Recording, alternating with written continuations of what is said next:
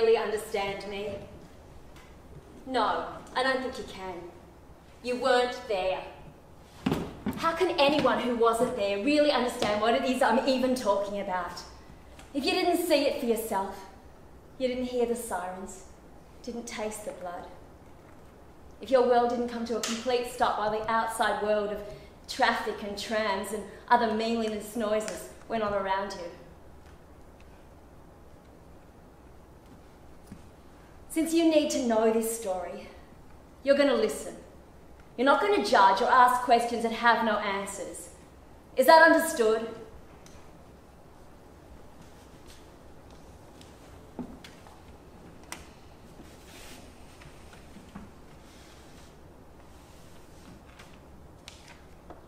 Now, you want to know about that night.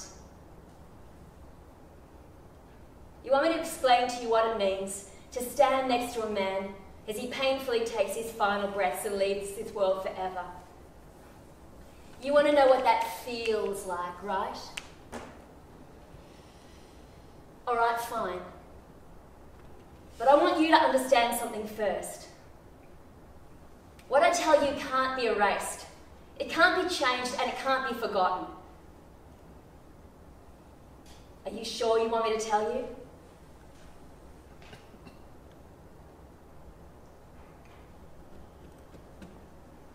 The only thing I really feel anymore is guilt. When he was lying there, he was trying to blink back the tears. There was so much blood. It wasn't that glossy, syrupy blood you see in the movies. This was real. And it was sticky and dark. And it smelt strange. The problem with blood is that once it's on you, it never goes away. I feel guilty because I looked at all that blood and I was so thankful it was him and not me. I didn't even know him, never met him before.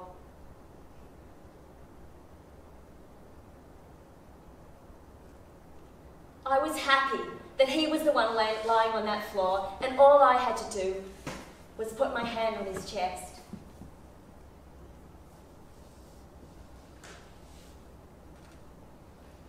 I feel dirty all the time.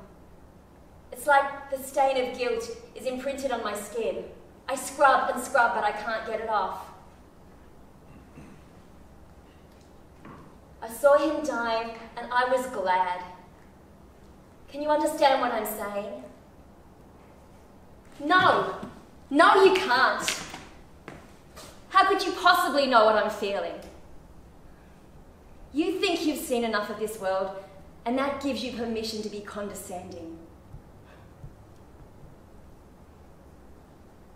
The sad part is you're probably right.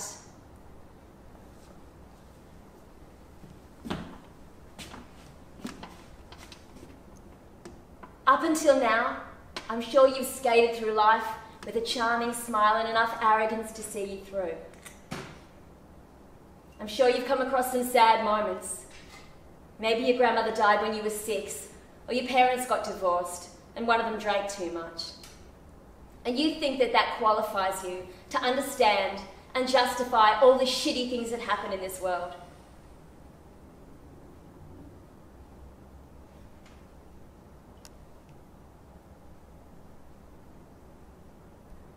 That night.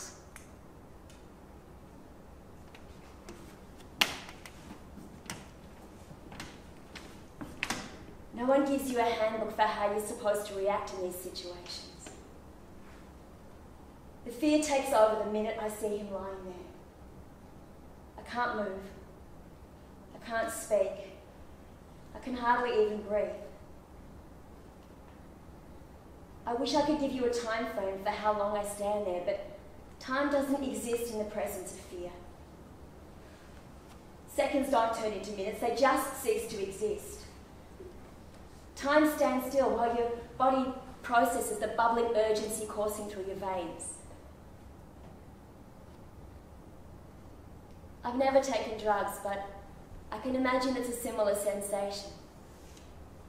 You jam the needle into your arm and shoot that liquid terror straight through your body. In an instant, everything starts to tingle and you lose control. Thoughts don't process, instincts change, inhibitions are gone. You're no longer yourself.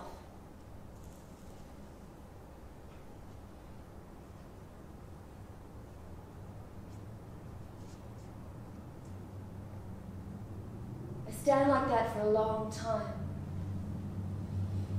I probably wouldn't have moved if I hadn't heard him moan. He twitches slightly and utters this deep, guttural sound. The fear is gone and something much worse happens.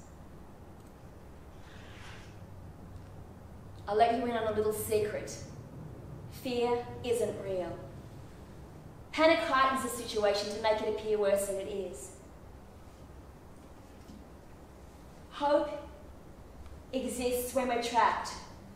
So while I'm standing there, scared and wavering at the possibility of his death, it still isn't real. But as soon as realization steps in, all hope is gone. As soon as he makes that sound, that awful sound, I know that he's going to die.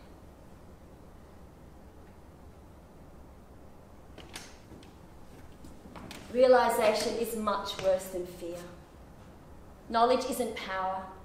Knowledge is what robs us of our innocence and takes away everything that's good.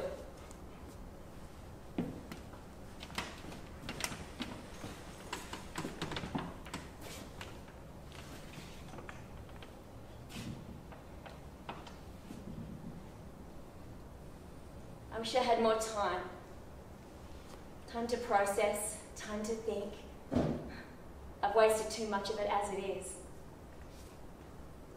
I'm an alcoholic whose drink of choice is time.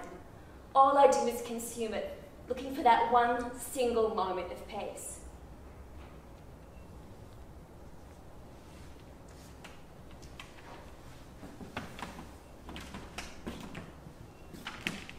I bend down next to him.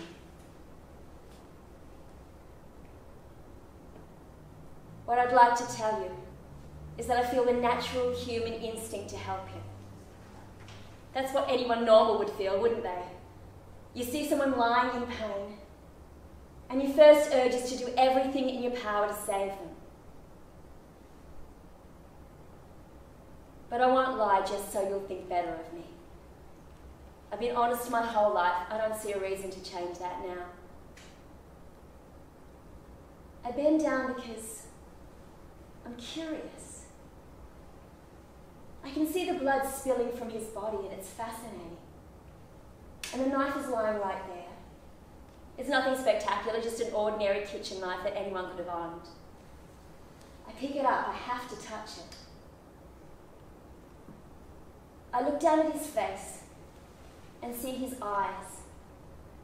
They're pleading with me, begging me to save him, begging me to take back to give him back what's been taken and to stop the pain. His eyes are reaching out, trying to grab hold of whatever life I've got. He's trying to will his pain onto me.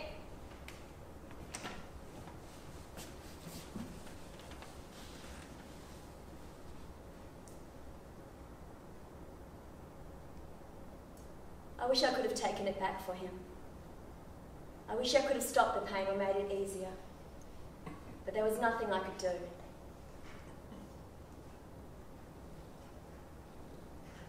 That's what I tell myself in the hope that repeating it will make it true.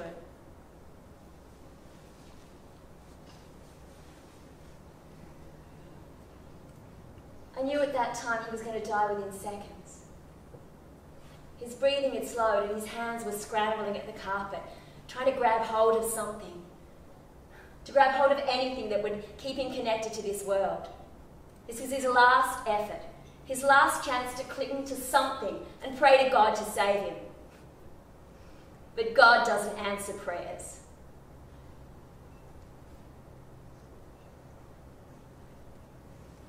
When he died, It wasn't peaceful or tragic. It just sort of happened. One minute he was struggling for air, and the next minute his body just sort of gave up.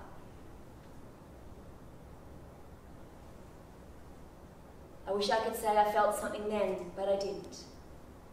There was just this calming numbness. His eyes were still open, staring at me.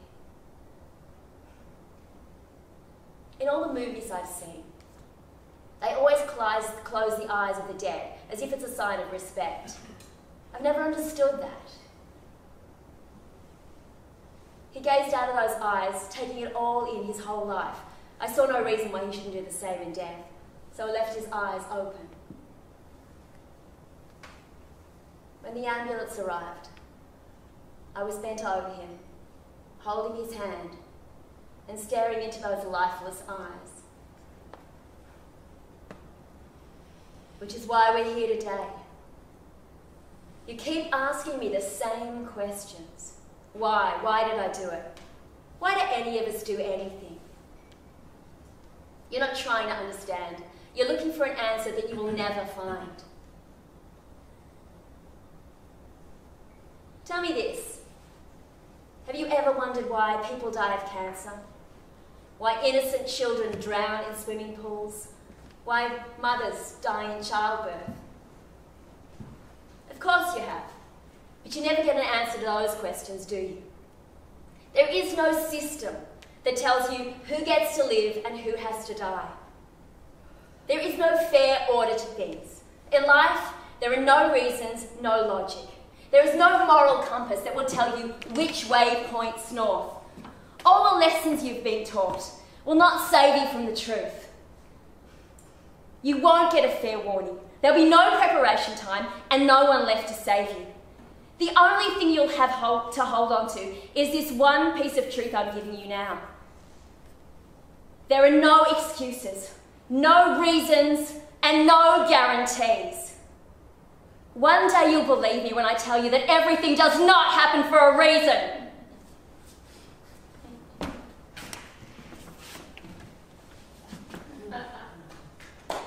Why did I do it? Why did I kill him? I've already told you, but you just don't understand.